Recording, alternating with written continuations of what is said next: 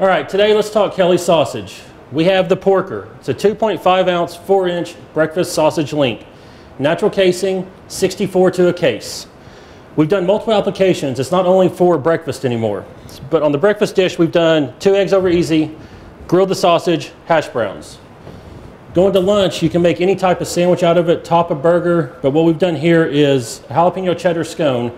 Slice the porker in half, topped it with our favorite sauce, a little bit of avocado, a little bit of sliced tomato, perfect. Moving on to dinner, we've got cheesy grits. Grilled the porker, topped it with a little bit of serrano and tomatoes, put on top, a little black pepper, sea salt, delicious. As you can see, it's not only for breakfast anymore. Enjoy.